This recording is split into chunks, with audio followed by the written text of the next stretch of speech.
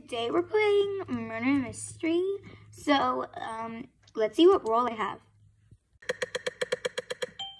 Uh, innocent. Seriously? Well, I knew that was gonna happen. I only had a 4% chance of being the murderer or the sheriff. But, mm, oh well. The heck?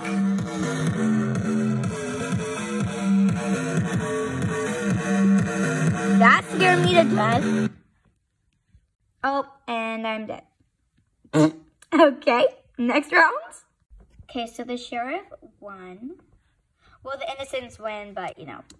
Yep, next round. Let's see what I get. Ugh, I'm innocent again. Oh my goodness. Hopefully that song doesn't come on again because that scared me to death.